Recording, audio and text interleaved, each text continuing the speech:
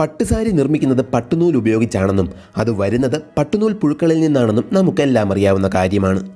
എന്നാൽ എങ്ങനെയാണ് ഈ പട്ടുനൂൽ നിർമ്മിച്ചെടുക്കുന്നത് എന്ന് നിങ്ങൾ കണ്ടിട്ടുണ്ടോ?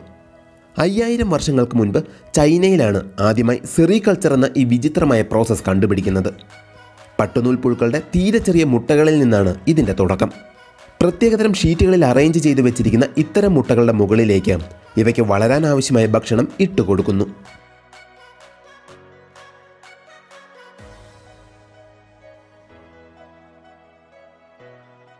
ഏതാനും ദിവസങ്ങൾ കൊണ്ട് തന്നെ ഈ മുട്ടകൾ വിരിഞ്ഞ് ചെറിയ ലാർവകൾ പുറത്തേക്ക് വരും. ദിവസവും മൂന്ന് നേരം വീതം ഇവയ്ക്ക് ഭക്ഷണം കൊടുത്തുകൊണ്ടേയിരിക്കുന്നു. ഇത് കഴിച്ച് വളരെ വേഗത്തിൽ ഇവ വളരുകയും ചെയ്യും.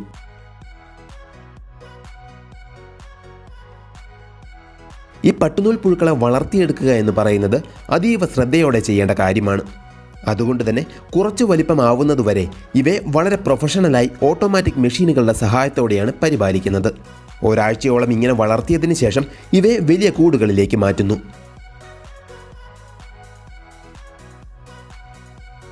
ഒരു പ്ലാസ്റ്റിക് ഷീറ്റ് വിരിച്ച് അതിനു മുകളിലേക്കാണ് ഈ പട്ടുനൂൽ പുഴുക്കളെ നിരത്തി വെക്കുന്നത്. ഇവ ആ ഷീറ്റിനുള്ളിൽ തന്നെ നിൽക്കാൻ വേണ്ടി അതിനു മുകളിൽ ഒരു നെറ്റും വയ്ക്കും വളർന്നു വലുതായ പട്ടുനൂൽ പുഴുക്കളുടെ ഏറ്റവും പ്രധാനപ്പെട്ട ഭക്ഷണം എന്ന് പറയുന്നത് മൾബറി ചെടിയുടെ ഇലകളാണ്. ഇവയ്ക്ക് നൽകാൻ വേണ്ടി തന്നെ ഏക്കർ കണക്കിന് സ്ഥലത്താണ് ഇത്തരം ചെടികൾ നട്ടു വളർത്തുന്നത്. ഈ മൾബറി ഇലകൾ ഒരു മെഷീനിലേക്കിട്ട് മുറിച്ച് ചെറിയ പീസുകളാക്കി ഇവയ്ക്ക് ഭക്ഷിക്കാനായി ഇട്ട് കൊടുക്കുന്നു. അങ്ങനെ ദിവസവും നാല് നേരം വീതം ഈ ഇലകൾ നൽകിക്കൊണ്ടേയിരിക്കും. അത് വളരെ വേഗത്തിൽ തന്നെ തീർക്കുകയും ചെയ്യുന്നു.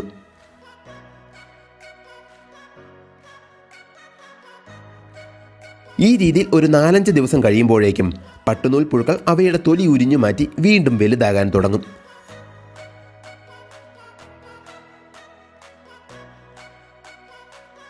ഇത്രയും വലുതായി കഴിയുമ്പോൾ പിന്നെ മൾബറി ചെടിയുടെ ഇലകൾ ചെറിയ കഷ്ണങ്ങളാക്കി മുറിച്ചു കൊടുക്കേണ്ട ആവശ്യമില്ല.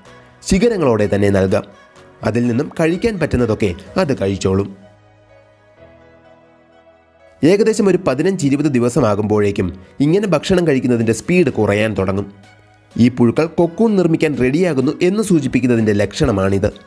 അതിന് തയ്യാറാക്കാൻ വേണ്ടി ഇവയെ ചെടിത്തണ്ടുകളുടെ ഇടയിൽ നിന്നും എടുത്തു മാറ്റി മറ്റൊരിടത്ത് ശേഖരിക്കുന്നു.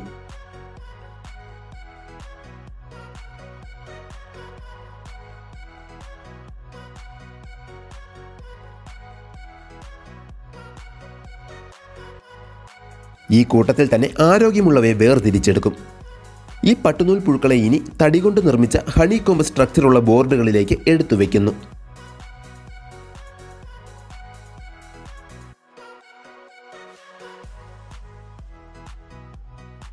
താഴെ പോകാത്ത രീതിയിൽ ഇവയെല്ലാം അഡ്ജസ്റ്റ് ചെയ്ത് ഇരുന്ന് കഴിയുമ്പോൾ ഈ ബോർഡുകളെ പ്രത്യേകം തയ്യാറാക്കിയ കമ്പികളിൽ തൂക്കിയിടും. ഇവ ഇരിക്കുന്ന റൂമുകളുടെ ടെമ്പറേച്ചർ കൃത്യം മുപ്പത് മുതൽ മുപ്പത്തിരണ്ട് ഡിഗ്രി സെൽഷ്യസിൽ നിലനിർത്തുക എന്നത് വളരെ പ്രധാനപ്പെട്ടതാണ്.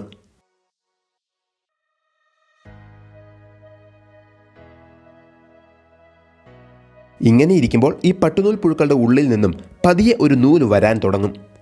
ബോർഡുകളെ ഏതെങ്കിലും കോണിലിരുന്ന് പുഴുക്കൾ ഈ നൂൽ കൊണ്ടൊരു കൂടുണ്ടാക്കിയെടുക്കുന്നു. തുടർച്ചയായി വരുന്ന ഒരൊറ്റ നൂൽ കൊണ്ട് മാത്രം നിർമ്മിക്കുന്ന ഇങ്ങനത്തെ ഒരു കൊക്കൂൺ പൂർത്തിയാക്കാൻ ഏകദേശം നാൽപ്പത്തെട്ട് മണിക്കൂർ സമയമെടുക്കും. ഒരു കൊക്കൂണിലെ നൂൽ നീട്ടിയെടുത്താൽ അതിന് തന്നെ ഉണ്ടാവും ഒരു കിലോമീറ്ററോളം നീളം. അങ്ങനെ ഒരു നാലഞ്ച് ദിവസം കൊണ്ട് ആയിരക്കണക്കിന് കൊക്കൂണുകൾ റെഡിയായിട്ടുണ്ടാവും.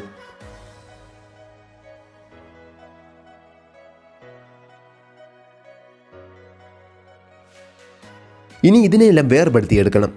അതിനായി ഓരോ ബോർഡുകളെയും എടുത്ത് ഒരു പ്രത്യേക മെഷീനിലൂടെ കടത്തിവിട്ട് കൊക്കൂണുകൾ ശേഖരിക്കുന്നു.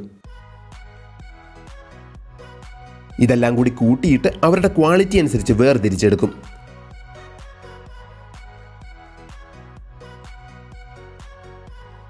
അവിടെ നിന്നും ഇതെല്ലാം ചാക്കുകളിലാക്കി പട്ടുനൂൽ പ്രോസസ്സ് ചെയ്യുന്ന ഫാക്ടറിയിലേക്ക് എത്തിക്കുന്നു.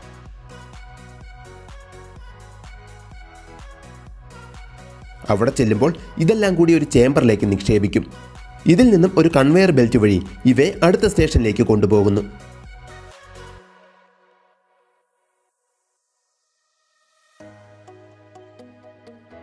അവിടെയും ഇതിന്റെ എല്ലാം ക്വാളിറ്റി പരിശോധിച്ച് നിലവാരം കുറഞ്ഞവയെ നീക്കം ചെയ്യും. ഇനി ഈ കൊക്കൂണുകളെ ചൂടുവെള്ളത്തിൽ മുക്കി സോഫ്റ്റ് ആക്കി എടുക്കുന്നു. നൂലുകൾ തമ്മിൽ ഒട്ടിപ്പിടിക്കാതെ പെട്ടെന്ന് വേർപെടുത്തിയെടുക്കാനും ഇത് സഹായിക്കും.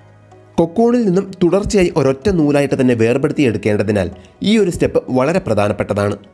പൊട്ടിപ്പോയ ചെറിയ നൂലുകളുണ്ടെങ്കിൽ അവയെ ഇതിൽ നിന്ന് നീക്കം ചെയ്യും. അങ്ങനെ ചൂടുവെള്ളത്തിൽ കിടക്കുന്ന കൊക്കൂണുകൾ ഒരു ഓട്ടോമാറ്റിക് റീലിംഗ് മെഷീന്റെ അടിയിലേക്ക് എത്തുന്നു. ജോലിക്കാർ തന്നെ പല കൊക്കൂണുകളിൽ നിന്നുള്ള നൂൽ ഒരുമിച്ചെടുത്ത് ഒരു റോളറിലേക്ക് ചുറ്റിവെക്കും. ഇത് കറങ്ങുന്നതനുസരിച്ച് കട്ടിയുള്ള നൂലും ഇതിലേക്ക് ചുറ്റി വരുന്നു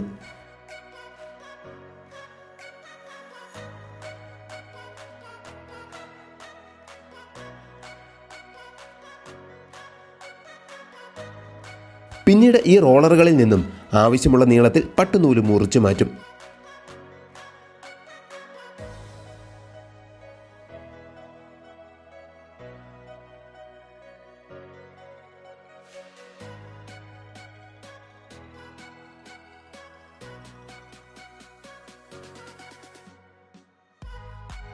ഈ നൂലുകളെ പല വ്യത്യസ്ത നിറങ്ങളിൽ മുക്കി ഡൈയിങ് നടത്തിയതിനു ശേഷമാണ് വസ്ത്രങ്ങൾ തയ്ക്കാനായി ഉപയോഗിക്കുന്നത്. നെയ്ത്തുകാരന്റെ ക്രിയേറ്റിവിറ്റി അനുസരിച്ച് പട്ടുകൊണ്ടുള്ള പല വെറൈറ്റി വസ്ത്രങ്ങൾ നമുക്ക് ലഭിക്കുന്നു. എങ്ങനെയുണ്ടായിരുന്നു പട്ടുനൂൽ നിർമ്മിക്കുന്ന ഈ വീഡിയോ നിങ്ങളുടെ അഭിപ്രായങ്ങൾ താഴെ കമന്റ് ചെയ്ത് അറിയിക്കുമല്ലോ. വീഡിയോ ഇഷ്ടമായ ചാനൽ സബ്സ്ക്രൈബ് ചെയ്യാൻ മറക്കല്ലേ? വീഡിയോ കണ്ടതിന് നന്ദി.